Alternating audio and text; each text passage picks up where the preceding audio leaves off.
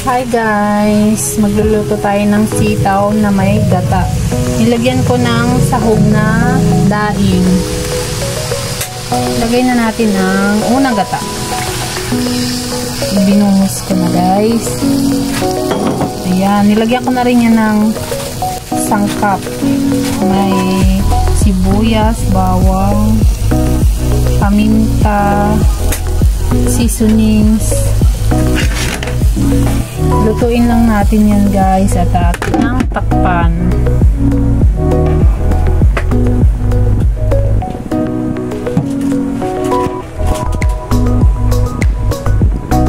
Kumukulo na guys, haluin natin.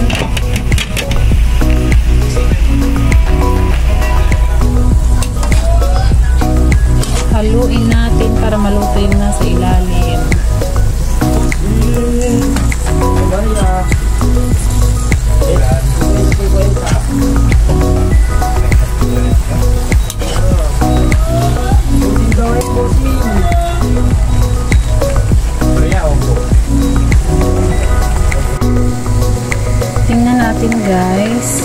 Yung luto na. Pwede na natin guys ilagay ang pangalawang gata.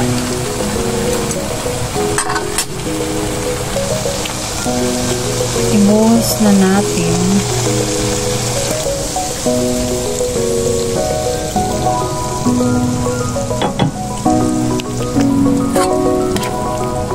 At hintayin lang natin na kumulo.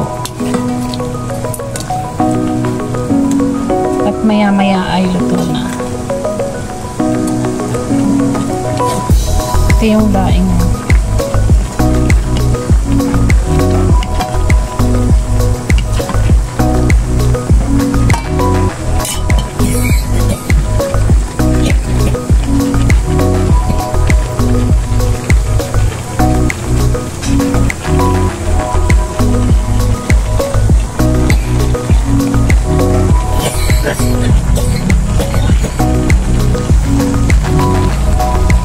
Ayan, kumukulo na. Tikman natin guys kung okay na ang lasa.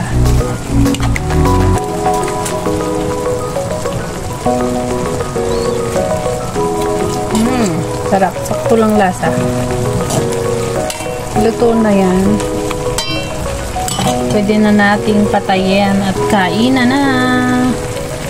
Thank you for watching. Don't forget to like, share, and subscribe. Bye!